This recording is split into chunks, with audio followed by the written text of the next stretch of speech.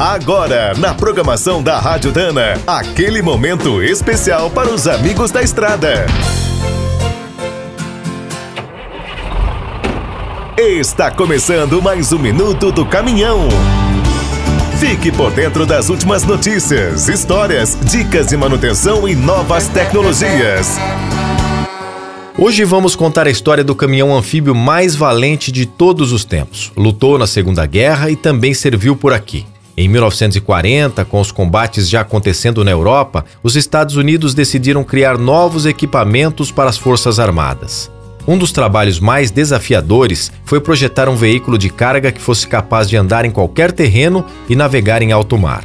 Os engenheiros partiram de um bruto militar da GMC, com motor a gasolina 4.4 de 6 cilindros, câmbio de 5 marchas e tração 6x6. A carroceria, que parecia um barco, foi desenhada pelo projetista de iates Rod Stevens, um grande vencedor de regatas transatlânticas. A produção começou em 1942. Seu nome oficial era DUKW, mas acabou apelidado pelas tropas de DOC, pato na língua inglesa.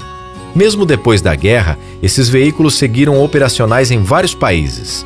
O Brasil comprou 34 unidades reformadas em 1970. Além desse lote, a Bizelli forneceu mais cinco réplicas nacionais para os fuzileiros navais.